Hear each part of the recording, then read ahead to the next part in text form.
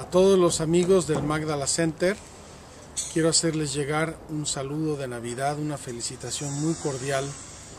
El año pasado les mandé una donde se veía un panorama muy bonito y ahora como pueden ver aquí detrás de mí ya el edificio comienza a verse, está saliendo de tierra. Esperamos poder lograr la meta de abrirlo pronto. Quiero agradecerles mucho por su apoyo. Quiero felicitarlos nuevamente por la Navidad y desearles también un año nuevo muy feliz. Gracias.